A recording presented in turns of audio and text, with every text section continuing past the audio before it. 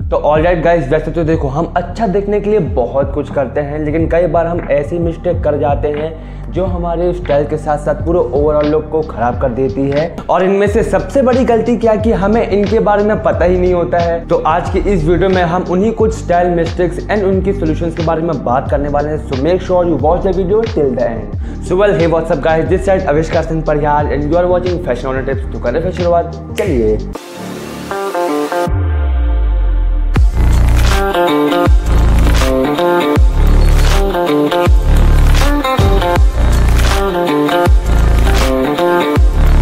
Thank सबसे पहले अगर हम बात करें ड्रेसिंग सेंस की तो देखो बड़े बड़े प्रिंट्स वाले टी शर्ट्स नहीं लेनी चाहिए फॉर्मल शूज़ के साथ व्हाइट सॉक्स को नहीं पहनना चाहिए। अगर बजट कम हो तो फेक ब्रांड्स के शर्ट्स एंड टी शर्ट्स को नहीं लेनी चाहिए, क्योंकि वो आपको छपड़ी दिखाते हैं।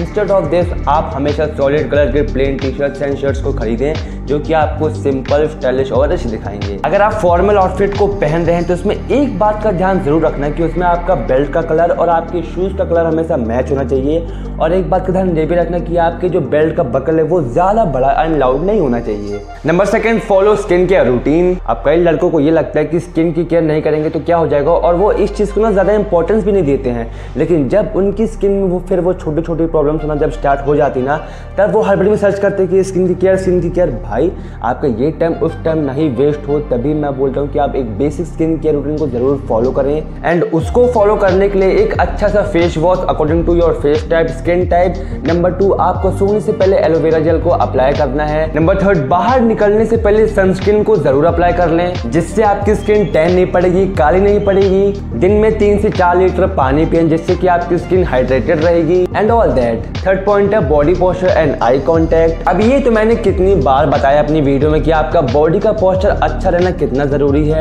अगर आपका बॉडी पोस्टर अच्छा नहीं होगा तो लोग आपको लो कॉन्फिडेंस समझेंगे इसलिए आपको हमेशा स्ट्रेट चलना है, आपको झुक के नहीं चलना है, जिससे कि आप अंडर कॉन्फिडेंट दिखते हैं। एंड आपको आई कांटेक्ट बनाना आना चाहिए भाई। क्योंकि सपोज़ अगर आप किसी मीटिंग में गए हो या आप किसी कॉन्वर्सेशन में हो और आप अगर आई कांटेक्ट नहीं मिलाओगे सामने वाले बंदे से तो वो समझेगा कि हाँ भाई, ये बंदा तो अपने में लगा हुआ है, ये मुझ पर ध्यान नहीं दे रहा है, मेरी बातों को इंपॉर्टेंस नहीं दे रहा है। एंड आपकी कन्वर्सेशन ऐसे में खत्म हो जाएगी, आप मेरी बातों को सुन रहे हो ना। अभी मैं आपको एक एग्ज़ाम्पल से समझाता हूँ। अभी मैं फ़ोन के कैमरे में नहीं देखूँगा और आपसे बातें करूँगा। आपको देखना कैसा लगेगा।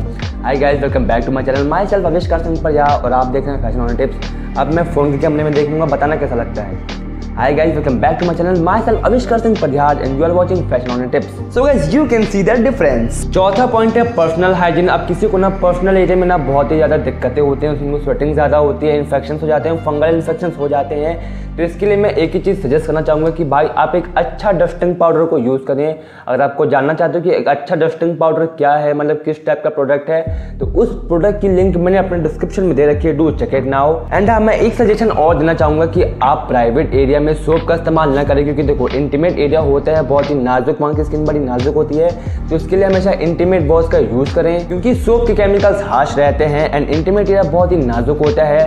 अगर आप सोप इस्तेमाल करते जाओगे तो आपको अभी तो नहीं, लेकिन लॉन्ग टर्म में आपको दिक्कतें फेस करनी पड़ेंगी. एंड इसके साथ आप गुड क्वालिटी इनरवेयर में इन्वेस्ट कीजिए, जो कि आपके इंटीमेट एरिया को प्रोटेक्टेड रखेगा. पांचवा पॉइंट है परफ्यूम मिस्टेक अब मुझे पता है भाई कि वैलेंटाइंस वीक चल रहा है, लेकिन इसका मतलब ये नहीं कि आप लड़कियों को इंप्रेस करने के चक्कर में सर से लेकर पैर तक डिओ या परफ्यूम को अप्लाई कर रहे हैं बिल्कुल नहीं, वो इंप्रेस नहीं होंगे, वो वहाँ से भाग ही जाएँगी। देखो, सबसे पहले आप शावर लेके आए, उसके बाद आपको टॉवल से अच्छी तरीके से अपने बॉडी को ड्राई करना है एंड देन उसके बाद आपको पल्स पॉइंट्स में मॉइस्चराइजर को अप्लाई करना है, जिससे कि वो आपके परफ्यूम को लॉन्ग लास्टिंग बनाएगा एंड आपको कपड़ों के ऊपर परफ्यूम को अप्लाई नहीं करना है, क्योंकि वो हल्के से वो गीले वाले स्पॉट्स देखते हैं, जो कि बहुत ही बेकार देखते हैं एंड इसलिए आपको हमेशा या परफ्यूम आपको अपनी बॉडी पे ही अप्लाई करना है। एंड अगर हाँ अगर आपको वैलेंटाइंस के लिए स्पेशल अच्छे परफ्यूम एंड डीओ चाहिए तो link in the description buy फटाफट जाके चेकआउट करो। छठवा पॉइंट है हेयर स्टाइल मिस्टेक सबसे फेवरेट पॉइंट है मेरा। क्योंकि देखो, मुझे ना तुम लोग को हेयर स्टाइल के बारे में समझाने का ना बहुत मज़ा आता है। बहुत मज़े। तो अगर हम वैलेंटाइंस के हिसाब से बात करें कि अगर आप अपनी बंदी के साथ डेट पे जा रहे हो तो आपके ऊपर कौन सी हेयर स्टाइल अच्छी लगेगी?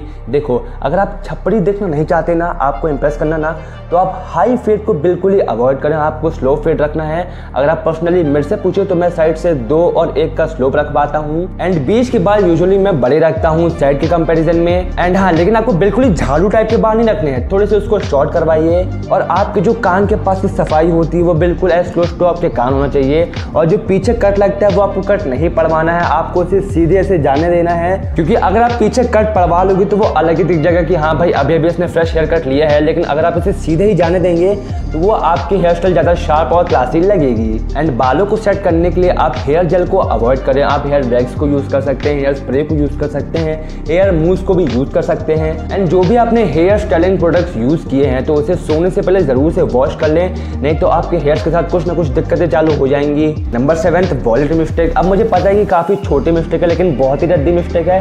इसके कारण आपकी पूरी पर्सनैलिटी खराब हो सकती है। देखो, मैं बहुत लोग को देखा हूँ कि वो जेब से चिल्लर निकालते, नोट निकालते, नोट मुड़ी चुड़ी रहती है। भाई, ऐसा नहीं करना है। अगर आपको अपनी पर्सनैलिटी को क्लासी बनाना है। तो get yourself a good quality leather wallet चलो, आपके लिए मैंने वो भी डिस्क्रिप्शन में उसकी लिंक दे दिया डू चेक इट नाउ आठवां पॉइंट है डोंट स्किप वर्कआउट अब मुझे अच्छे से पता हो और आप लोग को भी पता होगा कि अच्छा दिखने के लिए आपके कपड़े फिट होना कितने ज़्यादा ज़रूरी हैं और कपड़े फिट आने के लिए आपकी बॉडी का शेप में जाना कितना ज़्यादा ज़रूरी है। तो इसके लिए आप डेली थर्टी मिनट्स तो वर्कआउट कर ही सकते हैं। बेसिक सा आप पुशअप्स मार सकते हैं स्क्वाट्स मार सकते हैं लंजेस कर सकते हैं। एंड अगर आपको इसके ऊपर वीडियो चाहिए कि बेसिक वर्कआउट में कौन कौन सी एक्सरसाइजेस होती हैं so let me know in the comment section last point है और सबसे इंपॉर्टेंट पॉइंट है, वो क्या इन सब चीज़ों को कैरी करने का कॉन्फिडेंस अगर आपके पास एक तगड़ा कॉन्फिडेंस है ना तो आपकी पर्सनैलिटी चाहे कैसी भी हो, आपका ड्रेसिंग सेंस कैसा भी हो, आपकी हेयर स्टाइल कैसी भी हो, ये मैटर नहीं करता है। वो सारी चीज़ें छुप जाती है आपके एक अच्छे कॉन्फिडेंस के पीछे। और एक मिनट ये आप लोगों के लिए नहीं है भाई जो मेरा चैनल सब्सक्राइब किए हुए हैं, क्योंकि आपकी पर्सनैलिटी तो वैसे ग्रो हो ही रही है। ये उन बंदों के लिए जो अभी तक मेरा चैनल सब्सक्राइब नहीं किए हुए हैं तो क्या कर रहे हो भाई? फटाफट जाके इस चैनल को सब्सक्राइब कर दीजिए। और अगर आपको इस वीडियो में मज़ा आया हो तो एक लाइक तो बनता है गाइज़ आप ज़्यादा से ज़्यादा अपने दोस्तों को ये शेयर करिए। एंड अगर आपको नहीं पता कि इस चैनल पर हम किस बारे में बात करते हैं तो इस चैनल पर हम बात करते हैं about menstruation life style and grooming से रिलेटेड एंड यहाँ पर हम आपकी पर्सनैलिटी को डेवलप करते हैं। आपको आपका बेटर वर्जन बनाने की कोशिश करते हैं।